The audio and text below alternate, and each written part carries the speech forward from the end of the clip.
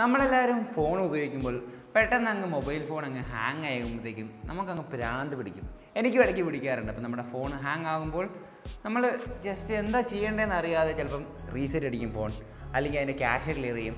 എന്തെങ്കിലുമൊക്കെ കാണിച്ചു വിട്ടു അപ്പോൾ ഇന്നത്തെ വീഡിയോയിൽ നമ്മൾ സംസാരിക്കാൻ പോകുന്നത് ഫോൺ ഹാങ് ആയി കഴിഞ്ഞാൽ എന്താണ് ചെയ്യേണ്ടത്? അതിന് കുറച്ച് ടിപ്സാണ് so let's rock and roll to this video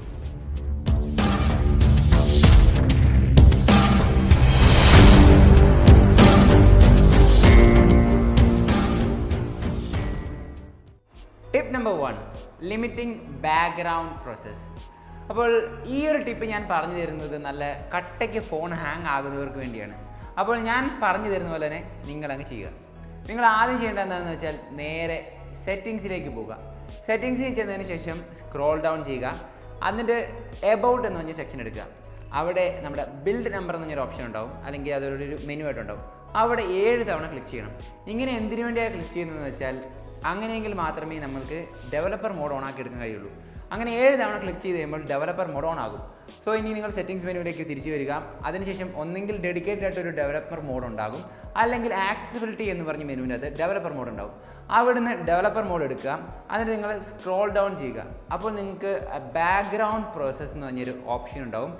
അവിടെ നോ ബാക്ക്ഗ്രൗണ്ട് എന്ന് പറഞ്ഞു കൊടുക്കുക. ഓപ്ഷൻ കൊടുക്കുക. അതിനുശേഷം നിങ്ങൾ ആനിമേഷൻ വിൻഡോ സ്കെയിൽ എന്നൊരു ഓപ്ഷൻ ഉണ്ടാവും. അതും നോ ആനിമേഷൻ മുന്നിൽ ഓപ്ഷൻ വെക്കുക. അതിന് പുറമെ രണ്ട് ആനിമേഷൻ ഓപ്ഷൻസ് ഉണ്ട്.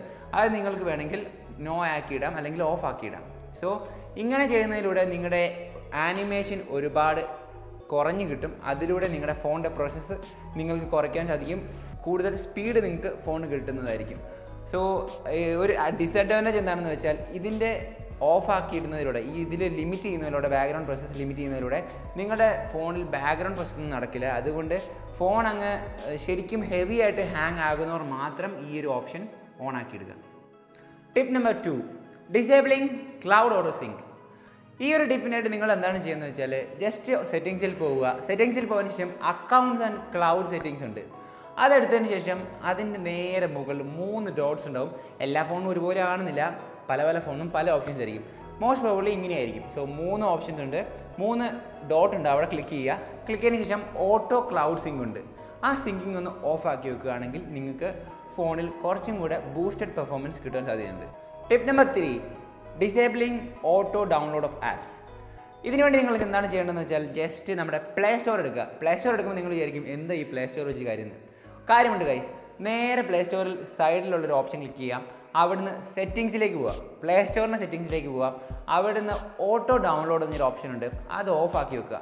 അത് ഓഫാക്കി വെക്കുന്നതിലൂടെ നിങ്ങൾക്ക് ബാക്ക്ഗ്രൗണ്ട് പെർഫോമൻസ് ഒരുപാട് കുറയ്ക്കാൻ സാധിക്കും. Tip number four disabling all apps നമ്മുടെ ഫോണിൽ ഒരുപാട് ആപ്ലിക്കേഷൻസ് ഉണ്ടാവും. അപ്പം ഇതൊന്നും നമ്മൾ ചിലപ്പോൾ ഉപയോഗിക്കുന്നുണ്ടാവില്ല. നമ്മുടെ ഫോൺ പഴകും തോറും നമ്മുടെ ഫോണിൽ ഒരുപാട് ആപ്ലിക്കേഷൻസ് ഉണ്ടാവും. അപ്പോൾ ഈ ഒരു ആപ്ലിക്കേഷൻസ് ഉപയോഗിക്കാത്ത ആപ്ലിക്കേഷൻസ് ഒക്കെ നമ്മൾ ഇതിനകത്ത് കുത്തിക്കയറ്റി വെച്ചിട്ടുണ്ടാവും. അപ്പോൾ ആ ഒരു ആപ്ലിക്കേഷൻസ് ഒക്കെ ഡിസേബിൾ ആക്കാൻ വേണ്ടി എന്ത് ചെയ്യണം?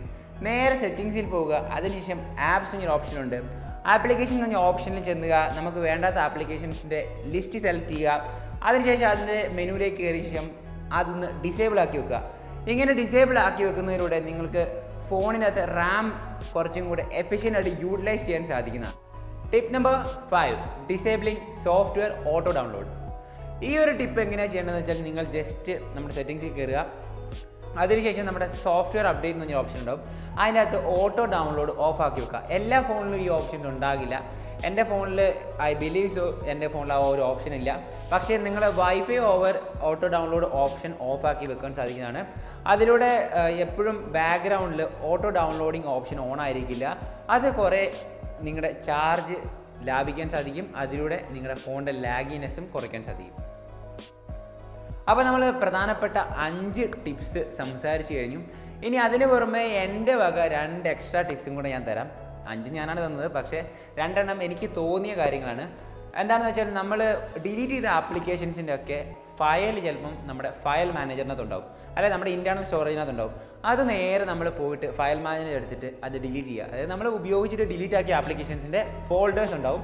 അതങ്ങ് ഡിലീറ്റ് ചെയ്ത് കളയുക. അതൊരു ടിപ്പ് ഇനി രണ്ടാമത്തെ ടിപ്പ് എന്താണെന്ന് വെച്ചാൽ നിങ്ങളുടെ ഹോം സ്ക്രീനിൽ നിങ്ങൾ കുറേ ആപ്ലിക്കേഷൻസ് ഇങ്ങനെ തള്ളിക്കയറ്റി വെക്കും. ഹോം സ്ക്രീനുള്ള ഫോണുകളാണെങ്കിൽ അതായത് ചില എല്ലാ ഫോണിലും ഹോം സ്ക്രീൻ ഓപ്ഷൻ ഉണ്ടാവില്ല. മിക്ക ഫോണിലും ഹോം സ്ക്രീൻ ഓപ്ഷൻ ഉണ്ടാവും. അപ്പോൾ ആ ഹോം സ്ക്രീനിൽ നമ്മൾ ഒരുപാട് ആപ്ലിക്കേഷൻസ് തള്ളിക്കയറ്റി വെക്കുമ്പോൾ അത് നമ്മുടെ പെർഫോമൻസിനെ ബാധിക്കും ഫോണിന്റെ. അപ്പോൾ ആ ആപ്ലിക്കേഷൻസിന്റെ എണ്ണം കുറച്ചുകൊണ്ട് നമുക്ക് വേണ്ടപ്പെട്ട മാത്രമായിട്ടുള്ള ആപ്ലിക്കേഷൻസ് വെക്കുന്നതിലൂടെ നിങ്ങൾക്ക് പെർഫോമൻസ് കുറച്ചും കൂടെ ബൂസ്റ്റ് ചെയ്യാൻ സാധിക്കും. സോ എന്റെ ഈ രണ്ട് എക്സ്ട്രാ ടിപ്സും നിങ്ങൾക്ക് ഉപകാരപ്പെടട്ടെ എന്ന് വിചാരിക്കുന്നു. അപ്പോൾ എല്ലാ കൂട്ടുകാർക്കും നമ്മുടെ ഇന്നത്തെ വീഡിയോ ഇഷ്ടപ്പെടുന്നു കരുതുന്നു നിങ്ങൾക്കത് ഉപകാരപ്പെടട്ടെ എന്ന് ഞാൻ പ്രാർത്ഥിക്കുന്നു. സോ ഇനി നിങ്ങൾക്ക് എന്തെങ്കിലും ഡൗട്ടുകളോ കാര്യങ്ങളോ ഉണ്ടെങ്കിൽ ജസ്റ്റ് കമന്റ് സെക്ഷനിൽ പോയി പറയുക. ഞാൻ അവിടെ എപ്പോഴും വായിക്കും നിങ്ങളുടെ കമൻസിനെല്ലാം ഞാൻ റിപ്ലൈ തരുന്നതാണ്. അപ്പോൾ ഇനിയും ഇതുപോലത്തെ രസകരമായ വീഡിയോയിൽ കാണുന്നവരെ this is me Doni Tojo signing out with camera Machan Jerin. Bye-bye നിങ്ങൾ ഞങ്ങളുടെ ചാനൽ സബ്സ്ക്രൈബ് ചെയ്തിട്ടില്ലെങ്കിൽ തീർച്ചയായും താഴെ കാണുന്ന സബ്സ്ക്രൈബ് ബട്ടൺ ലേബൽ ചെയ്ത് സബ്സ്ക്രൈബ് ചെയ്യൂ നിങ്ങൾക്ക് ഞങ്ങൾ വീഡിയോ ചെയ്യുമ്പോൾ അത് കൃത്യമായ നോട്ടിഫിക്കേഷൻ ലഭിക്കുവാനായി നിങ്ങൾ താഴെ കാണുന്ന ബെല്ലൈക്കൺ എനേബിൾ ചെയ്യൂ ഞങ്ങളുടെ പഴയ വീഡിയോസ് നിങ്ങൾ കണ്ടിട്ടില്ലെങ്കിൽ